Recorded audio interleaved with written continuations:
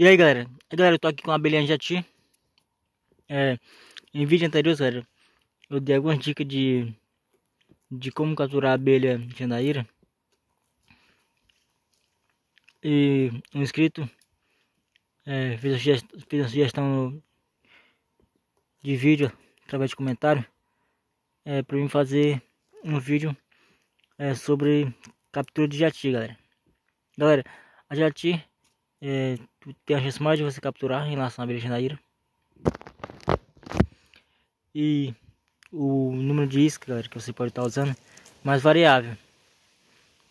Tipo aqui a jati, você pode capturar ela em caixa de leite, isca de caixa de leite, isca pet, cabaça isca e também cano PVC, galera. Galera, essas duas últimas fases que eu também isca, galera. Caxias também captura abelha jati. Mas galera, eu capturei já essa abelha jati em cano de PVC. E também através de cabaça isso, galera. Com essa. Uma cabaça muito semelhante a essa. Lembrando, galera, que tem que ser uma cabaça pequena, né, galera? Um cano PVC também não tão grande. Uma garrafa PET de 300 até mil litros já é o suficiente, galera, porque trata-se de uma abelha pequena.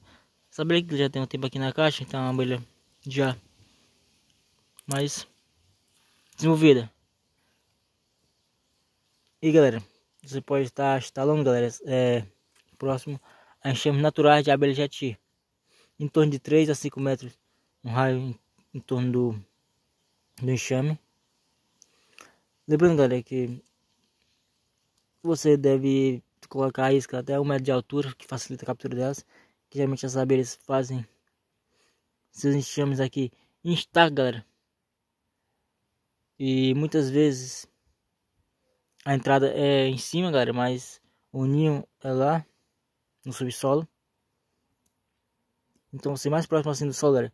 É até, até interessante, galera, em relação a cano PVC. Você isolar embaixo e colocar a parte do cano é, enterrada. Tem até alguns, alguns testes é, com abelha jati em relação a tomar escapete enterrado. Você coloca enterrar escapete e coloca o cano saindo para fora. Infelizmente, galera, a minha região aqui é, eu não tive sucesso com a escapete enterrada devido que entrou água nas iscas. Tive bastante no período que eu instalei as iscas. Então, não sei se por isso. Mas galerinha, cabaça isca. E no, cano, e no cano PVC já tive captura. Bem galera, você deve usar um bom atrativo. E é basicamente isso, galera. Um enxame. São enxames, galera, que não tem a grande quantidade de abelhas.